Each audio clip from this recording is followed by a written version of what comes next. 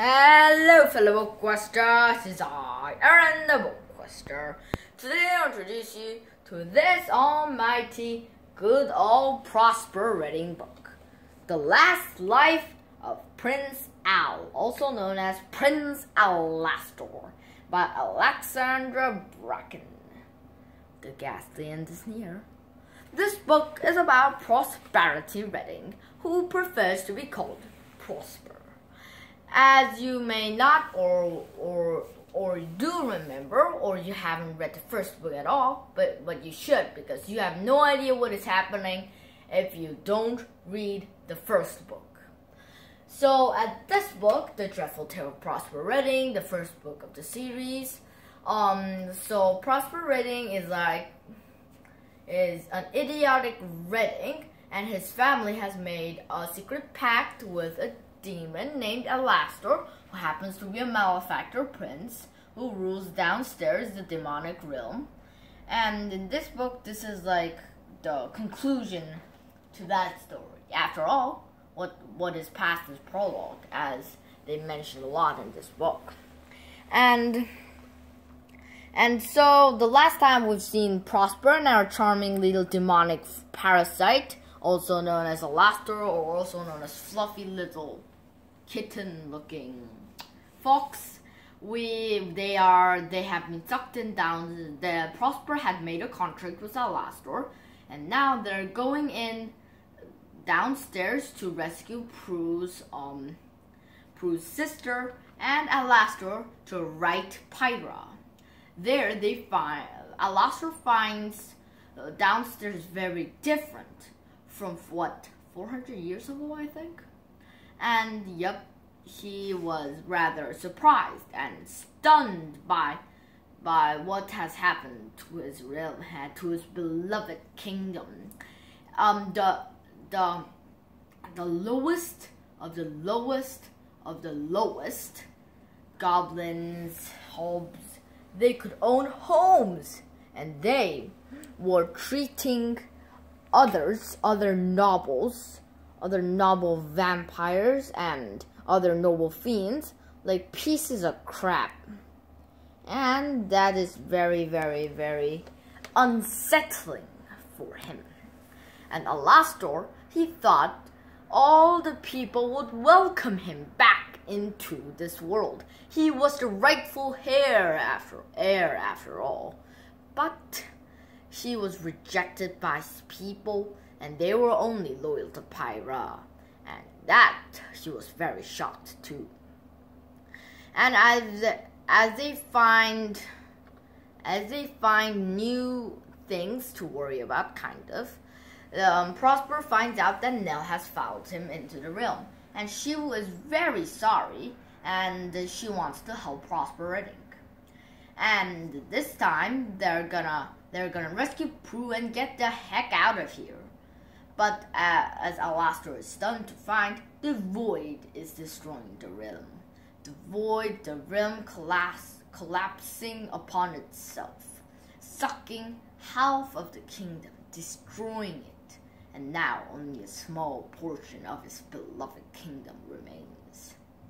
And so, basically, Prosper goes to rescue Prue and then Alastor suddenly becomes really bad and suddenly just does does goes to Pyra's side. But then the contract stated that Alastor will will will help plot prosper get free get Prue what the heck out of that realm into their original realm, and he could not obey, or could, he could not disobey his own contract. And meanwhile, Prosper Prosperity Redding had all had already um got the freaking thing, had uh, had an idea, has knew um Alastor's secret name, and that was rather stunning for Alastor. But Prosper knew that he was becoming more and more like Honor Redding, so he didn't do anything to compel the malefactor, he let it have its own free will. And soon enough, an elf reveals that there were uh, there is actually only three realms in the first place, and the and the fiends had taken over the ancients realm and turned it into the fiends realm. And that elves were ancients the ancients the ancients were actually elves and they had the most powerful of the most powerful and the elves were angry at the fiends and the fiends were actually a mistake. When they had come to the human realm, they they saw human as easy to work with and they saw some goodness in them, but they also saw evil, malicious, hatred, and so they just simply decided to deal with it and cut out that part of a human. But that from there grew out monsters, demons, fiends, malefactors. And that was the birthplace. That was the birthplace, the eternal mistake that the that the freaking guys made. That no, I mean the elves made. That that created this, the great freaking fiends. And that's kind of sad for them, but now the void is destroying the fiend realm. And Alastor agree you knows that he has to obey his own contract, and so he takes Prue and Prosper out of that realm. But then, when he opened the portal, he said to Pyra that they could lead all the fiends in this realm and turn that into downstairs. And that was like, what the? Oh, come on, Al. Couldn't you do just one good thing in your fully demonic parasite-ish life? I was like that, basically and then and then Prosper was surprised to find that his grandmother was actually Goody Redding, and she was a witch too. And the Raven Feather Coven defended the realm, and it all had a happy ending. And this, and I could relate to Prosper. He he was kind of being bullied, and yeah, I know how that feels, but only the minor, minor like like one one hundredth of what Prosper was feeling before he before the malefactor and that thing.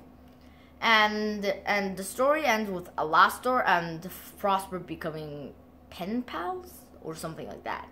And it's a very good ending and and and uh, um Prosper had gone through uh, the whole book is not just fantasy, but Prosper had gone through his trials of his life, and he had actually saved his own realm, kind of in process.